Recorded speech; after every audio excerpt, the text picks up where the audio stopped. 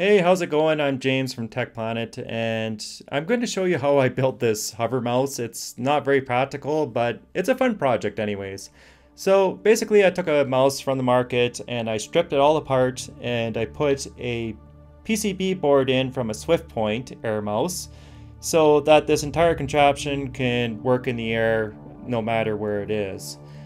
And then obviously I, underneath I have a 3D printed housing, but more specifically I 3D printed these shells which encompass the superconductor and I used roughly 30% infill PLA obviously and they do not crack or anything under liquid nitrogen so it was a pretty cool discovery.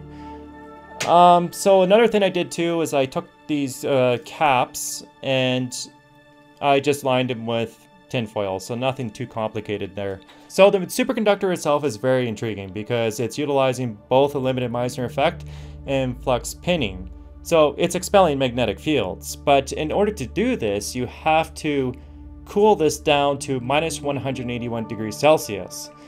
Now, the most practical way to do this is to use liquid nitrogen. And I do have a 25 liter Dewar with a withdrawal system. So it's very expensive. The system which is actually used to withdraw the liquid nitrogen from the tank is just as much as the Dewar itself. And basically what it does is it converts liquid nitrogen from liquid to gas and then to liquid again. So you never have to tip the Dewar over or anything like that.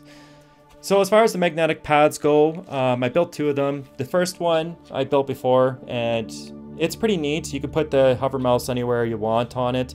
And all it is is just a bunch of magnets inside. Um, and they are all combined together so that you can slide the mouse over and position it to where you want. Now the second magnetic pad is a little bit trickier because I'm using two superconductor tracks and the magnets are set up so that the superconductors can bounce between two points and I don't think anybody has built anything like that before but the problem is is that when you try to get these tracks close together the magnets like to slip on top of each other and then it totally screws up the whole project.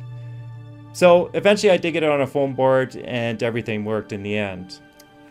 So I guess what to take away from this video is that uh, this is not an easy thing to do at home, but if room temperature superconductors are invented, this might be practical, but in the same sense, you're still going to have to deal with magnets. So we're going to have to develop a system where it can isolate magnetic fields from everything else and then you could wear jewelry and stuff around it and it's not going to basically break your wrist when you're trying to use the mouse. So anyways, I hope that was a fun video. Um, please like it if you enjoyed it and also make sure to subscribe to my channel. Okay, see you in the next one.